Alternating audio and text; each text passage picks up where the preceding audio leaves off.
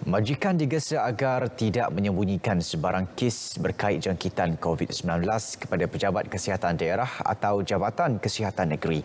Esko Kesihatan dan Anti Dadah Melaka Dr. Muhammad Akmal Salih menegaskan ia bagi mengawal penularan wabak dalam kalangan pekerja.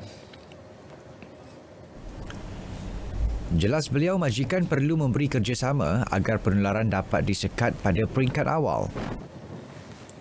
Jadi ini memerlukan kerjasama semua pihak. Kami Jabatan Kesihatan tak mampu nak buat semua. Daripada investment pun tak mampu nak buat semua.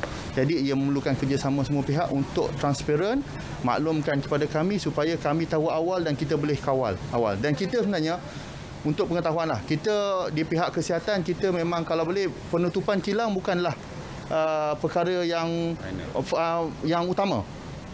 Yang utama adalah kita nak mengawal penularan tu.